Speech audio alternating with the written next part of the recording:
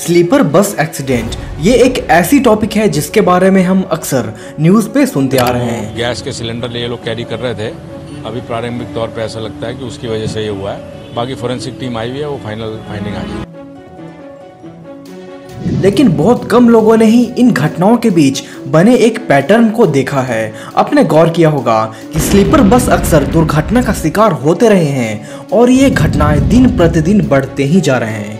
लेकिन इस पर कोई खास एक्शन नहीं लिया जा रहा। पिछले दो सालों में ही पाँच स्लीपर बस एक्सीडेंट हो चुके हैं। जून 2022 में ही कर्नाटक के कलबुर्गी में एक स्लीपर बस का एक्सीडेंट हो गया, जिसमें सात लोगों की जलकर मौत हो गई। अक्टूबर 2022 में यवतमाल से मुंबई जा रहे स्लीपर बस नासिक के पास ट्रक से टकरा गई, जिसमें 12 लोगों की जलकर मौत हो गई। अक्टूबर 2022 में ही आगरा लखनऊ एक्सप्रेसवे पे एक और स्लीपर बस एक्सीडेंट हो गया, जिसमें चार यात्रियों की मौत हो गई और 42 लोग घायल हो गए। इतना ही नहीं, एक जुलाई 2023 में महाराष्ट्र के बुल्धाना में समृद्धि हाईवे पे एक बस डिवाइडर से टकरा गई। इससे बस में आग लग गई और 25 यात्रियों की दर्दनाक मौत हो गई। फिर नवंबर 2023 में ही एक और स्लीपर बस का एक्सीडेंट हो गया, जिसमें दो लोगों की जलकर मौत हो गई और 12 लोग झुलस गए। और ये सिर्फ़ पिछले दो सालों के कुछ हाईली रिपोर्टेड डाटा हैं। इसके अलावा ऐसे दर्जनों एक्सीडेंट होते रहे हैं लगभग इन सभी एक्सीडेंट्स में यात्रियों की सबसे ज़्यादा जान बस में लगे आग के कारण हुई। किसी भी स्लीपर बस का स्ट्रक्चर काफ़ी कॉम्पैक्ट होता है। उसमें लगा मटेरियल जैसे कि लकड़ी कॉटन सीट्स वूल ये सभी हाईली फिल्मेबल होते हैं, जिस कारण से इन बसों में आग बहुत तेज़ी से फैलती है। और इन्हीं सब कारणों से सरकार स्लीपर बस के खिलाफ कोई बड़ा एक्शन ले सकती है। लेकिन फंडामेंटल रूप से स्लीपर बस के हादसे और उनके जानलेवा बन जाने के दो बड़ी कारण है।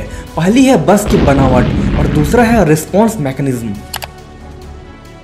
generally sleeper bus coaches में 36 से 40 सीट होते हैं। सभी बर्थ की लंबाई लगभग 6 फीट होती है और चौड़ाई 2.6 फीट होती है। यहाँ तक तो ठीक है। मेजर इशू गैलरी के स्पेस में आता है। स्लीपर बस में आने जाने के लिए बेहद संकरी गैलरी होती है, जहाँ एक वक्त में एक व्यक्ति भी ठीक तरह से नहीं चल पाता।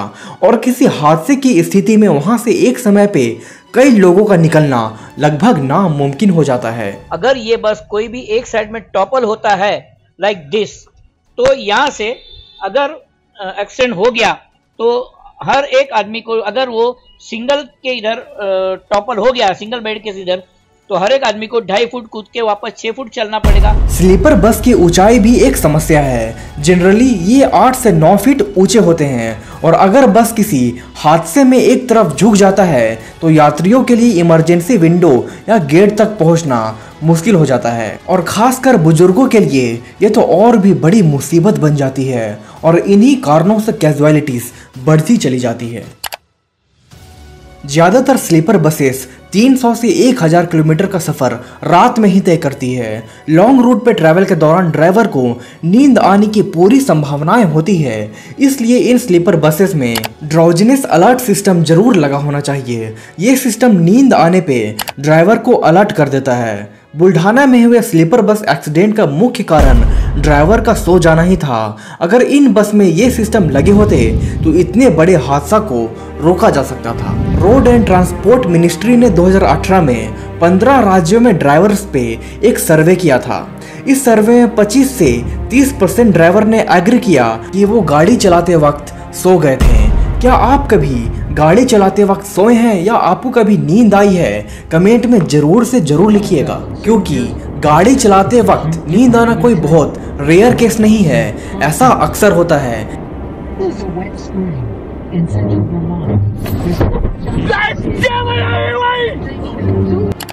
कई डेवलप कंट्रीज़ में रोड को इस तरह से डिज़ाइन किया जाता है कि लंबे टूर पे किसी को नींद ना आए, जिससे वहाँ इस तरह के हादसे कम होते हैं। किसी भी ड्राइवर को सबसे ज़्यादा नींद हाईवे या फिर सुनसान रास्तों पे ही आता है। और ये घटनाएँ अक्सर रात के 12 से सुबह छह बजे के बीच होती है। इस दौरान अधिकतर पैसेंजर भी सोए हुए होते हैं, जिस कारण से किसी इमरजेंसी की स्थिति में वो तेज़ी से रिएक्ट नहीं कर पाते।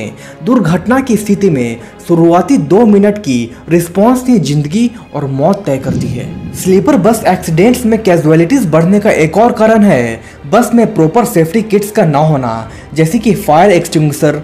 Glass breaking tool illegal design या फिर जैम्ड इमरजेंसी डोर्स और गवर्नमेंट को इसके रिगार्डिंग कोई सख्त नियम लागू करना होगा, ताकि ट्रैवलर्स आराम और सेफ्टी के साथ ट्रैवल कर सकें।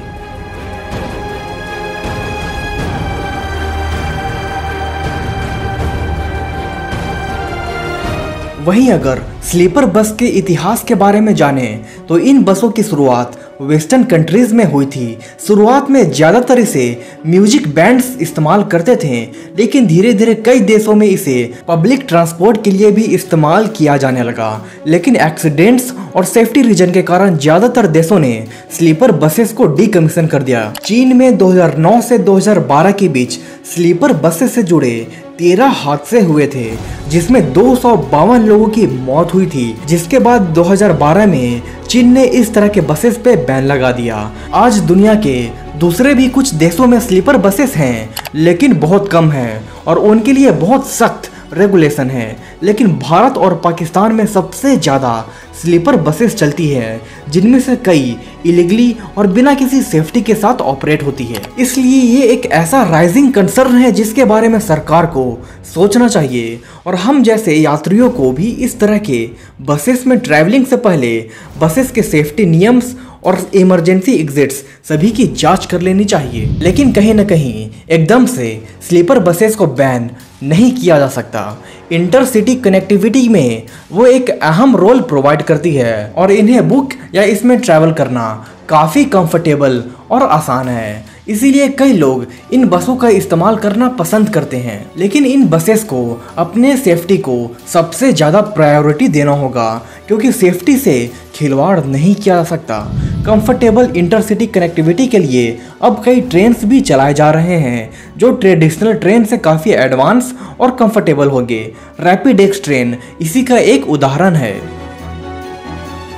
और अगले एक दो सालों में स्लीपर वंदे भारत ट्रेन भी रोल आउट हो जाएगी, जो शॉर्ट और लॉन्ग डिस्टेंस में कंफर्टेबल जर्नी प्रोवाइड करेगी। आपको क्या लगता है, क्या पिछले कुछ सालों में भारत की इंफ्रास्ट्रक्चर में सुधार हुआ है, या फिर सिर्फ़ पैसे की बर्बादी की गई है? कमेंट में ज़रूर लिखें और हमारे क्यूरियस फैमिली से जुड़ने के लिए हमारे चैनल को सब्सक्राइब कर दें। धन्यवाद।